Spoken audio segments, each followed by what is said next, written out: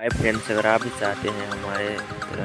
Video का background change करना तो हमारे वीडियो को लास्ट तक देखते रहिए और वीडियो को बिल्कुल भी स्किप मत कीजिए और चैनल के नए हैं तो चैनल को सब्सक्राइब कीजिए और साथ ही बेल आइकन को प्रेस कीजिए।